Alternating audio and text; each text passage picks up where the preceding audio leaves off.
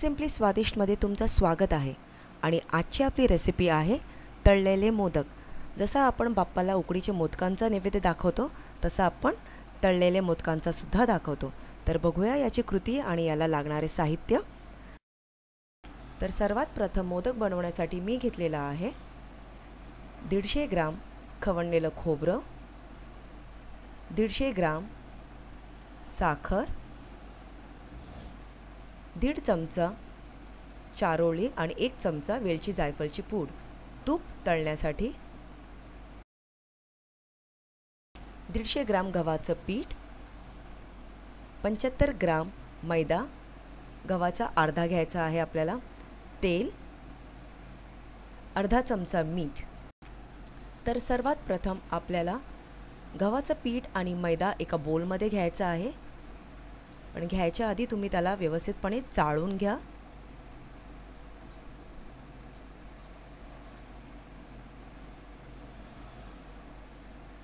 अर्धा चमचा मीठ.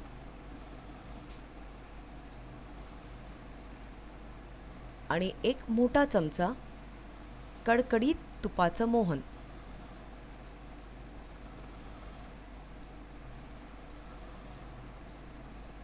आता हे चांगलेपणे मिक्स करून घ्या. हाताने मिक्स करू नका. गरम असेल म्हणून आधी चमच्याने मिक्स करून घ्या.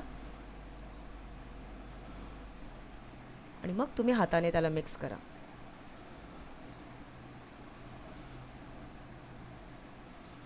आता थोडं थोडं पाणी घेऊन पीठ मळून घ्या.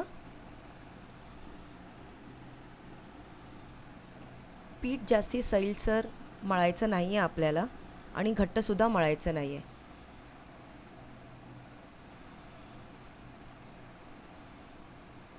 जसं आपण चपातीसाठी पीठ मळतो त्या प्रकारेच आपल्याला पीठ मळून घ्यायचं आहे. आता त्याच्यामध्ये दोन ते तीन चमचे तेल टाका आणि पुन्हा मळून घ्या.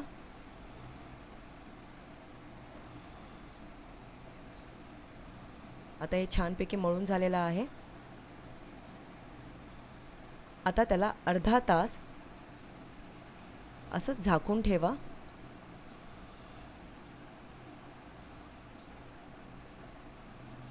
मीन आपण सारण तयार करूया.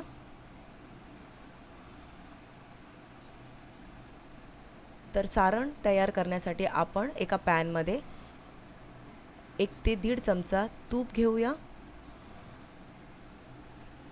तूप गरम झाल्यास त्यात खवणलेलं खोबरं ॲड करा.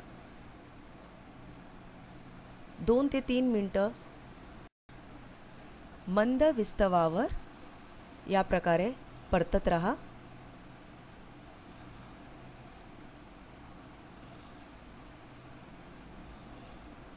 परतून झाल्यानंतर त्याच्यामध्ये आता आपण साखर ॲड करूया. जेव्हा मी तुम्हाला उकडीचे मोदक दाखवले होते तेव्हा मी त्याच्यात खोबरं आणि गुळाचं सारण तयार केलं होतं. आणि आज मी तुम्हाला खोबरं आणि साखरेचं सारण तयार करून दाखवणार आहे. बघा याच्यामध्ये आता आपण साखर ॲड करून हे जास्ती वेळ आपल्याला शिजवायचं नाही आहे साखर फक्त मेल्ट होईपर्यंत त्याला परतत राहायचं आहे. जर ओव्हर कुक केलं आपण तर सारण थंड झाल्यानंतर खूप कोरडा होतो. फक्त साखर मेल्ट होईपर्यंतच आपल्याला याला मिक्स करायचं आहे. बघा साखर मेल्ट झालेली आहे. आता याच्यामध्ये आपल्याला ॲड करायचं आहे वेळची जायफळची पूड.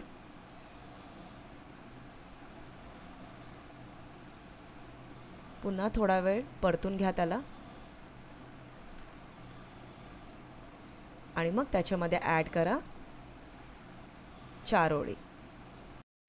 तुम्ही तुमच्या आवडीनुसार दुसरे ड्रायफ्रूटसुद्धा त्याच्यामध्ये ॲड करू शकता. बट टेक केअर बिकॉज वळताना त्या ड्रायफ्रूट्समुळे आपला मोदक फाटू नये. आता सारण तयार झालेलं आहे. आता याला आपल्याला थंड करायचं आहे. आता याला तुम्ही एका बाऊलमध्ये काढून थंड करत ठेवा. मीनवाईल आपण मोदकांसाठी पुरी लाटूया. तुम्ही एक एक छोटा छोटा पेढा घेऊनसुद्धा सिंगल सिंगल पुरी लाटू शकता. किंवा सारख्या आकाराचे मोदक होण्यासाठी तुम्ही एक मोठी पोळी लाटा आणि वाटीने छोट्या छोट्या पुऱ्या कापून घ्या.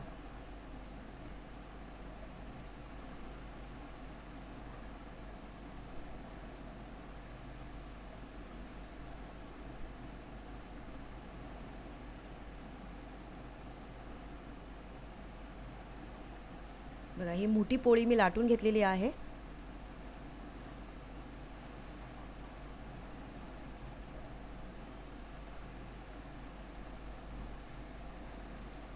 आता एका वाटीने मी सारख्या आकाराच्या पुरी कापून घेणार आहे.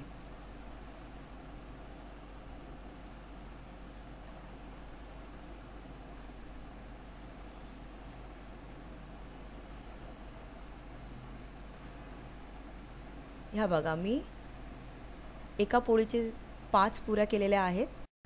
या प्रकारे तुम्ही उरलेल्या पिठाचे अराऊंड पंचवीस पुरी कापू शकता. आपलं सारणसुद्धा गाढ झालेलं आहे. आता आपण मोदक वळूया. हे बघा एका पुरीमध्ये मधोमध सारण ठेवायचं आहे.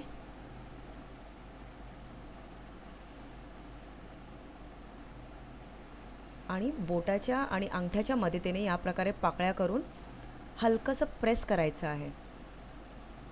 कारण त्या पाकळ्या सुटू नये. वरती टोक काढा आणि हा झालेला आहे आपला मोदक तयार. परत मी तुम्हाला एकदा दाखवते आहे सारण मधोमध ठेवायचं आहे.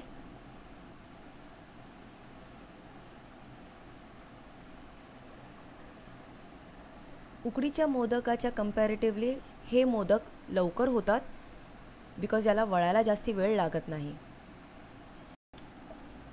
याच प्रकारे तुम्ही बाकीचे मोदकसुद्धा करून घ्या. मी जे साहित्य घेतलेलं आहे त्याचे अराऊंड पंचवीस ते सव्वीस मोदक होतात. हा बघा हा मोदक रेडी आहे. याच प्रकारे तुम्ही बाकीचे मोदकसुद्धा करून घ्या. आता आपण मोदक फ्राय करूया.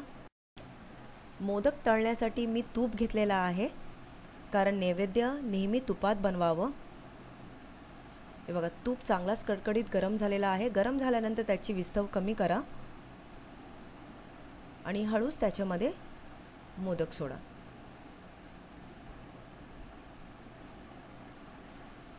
कमी विस्तवावर तळल्यानंतर मोदक छान खुसखुशीत होतात आणि इव्हनली फ्राय होतात आणि आतमध्ये कच्चे राहत नाही. ॲट ए टाईम तुम्ही पाच ते सहा जर तुमची कढाई मोठी असेल तर तुम्ही जास्ती मोदकसुद्धा ॲट ए टाईम फ्राय करू शकता.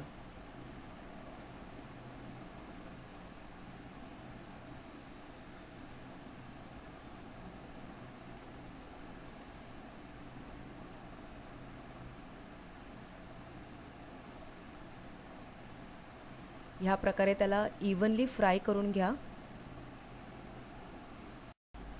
गोल्डन ब्राऊन कलर आल्यानंतर मोदकांना एका प्लेटमध्ये काढून घ्या.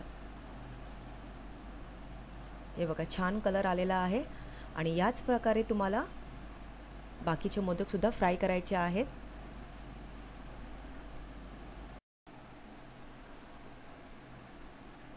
मी याच प्रकारे बाकीचे मोदकसुद्धा फ्राय केलेले आहेत. तर बघा हे झालेले आहेत तळलेले मोदक. नैवेद्य दाखवण्यास तयार? जर तुम्हाला माझी रेसिपी आवडली असेल तर लाईक करा सबस्क्राईब करा आणि कमेंट करायला विसरू नका. थँक्यू